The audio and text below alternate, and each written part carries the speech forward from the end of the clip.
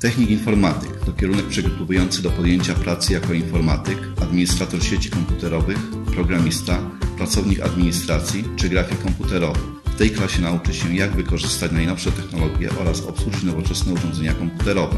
Poznasz wady i zalety programów komercyjnych i darmowych, dzięki czemu sam będziesz mógł zdecydować, czy chcesz używać płatnych czy bezpłatnych aplikacji. Nauczysz się tworzyć sieci komputerowe, poznasz szczegóły transmisji danych między komputerami, nauczysz się wykorzystywać mechanizm zdalnej administracji oraz zarządzać serwerami usług sieciowych. Proponujemy udział w kursie ECDL Elektroniczne Komputerowe Prawo Jazdy.